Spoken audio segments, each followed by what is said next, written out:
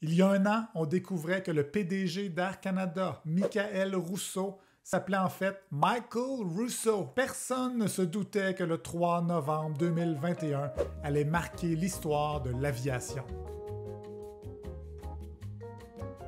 Après un discours devant la Chambre de commerce du Montréal métropolitain, pris en embuscade entre deux murs de béton du Palais des Congrès, Michael Rousseau doit faire un atterrissage forcé. Le journaliste de Québécois, Pierre-Olivier Zappa, lui pose cette question dans la langue du commandant Piché. Comment fait-on pour vivre à, Montréal pendant plus de 14 ans et, parler euh, un français qui est très approximatif?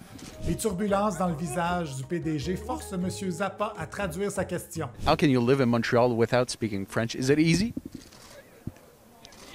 I've been able to live in Montreal without speaking French. Um, and I think that's a testament to the city of Montreal. Mayday, Mayday! 254-6011. L'attaché de presse de Rousseau, Pascal Derry, maintenant député de la CAQ, fait de l'hyperventilation. Euh, Merci beaucoup. On va passer à d'autres questions, s'il vous plaît. Mais il est trop tard. La porte est ouverte. La dépressurisation est intense. Le tollé est entendu d'un Atlantique à l'autre. Le pire affront à la nation québécoise depuis la nuit des longs couteaux. Le rapport Durham all over again.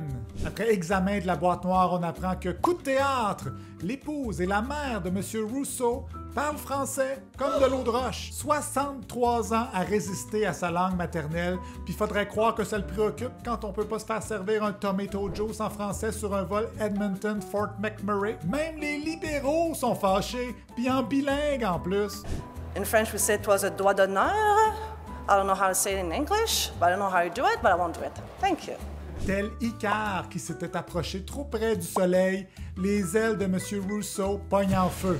Mais le monsieur a la persévérance des frères Wright. Cinq mois plus tard, après s'être écrasé à de multiples reprises, il installe finalement Duolingo sur son iPhone et nous présente ce qu'il croit être du français. Je suis désolé. Je regrette l'impact que cela et causer sur nos employés. Ah, ben nous voilà rassurés. C'est comme ça que se termine un autre épisode où l'une des deux solitudes vole en première classe pendant que l'autre continue de manger sa bouffe d'avion en se faisant croire que tout va pour le mieux dans le meilleur des mondes et que la purée de patates en poudre, c'est donc delicious. Comme l'a déjà dit un autre ancien PDG de compagnie aérienne, François Legault, bonne fin.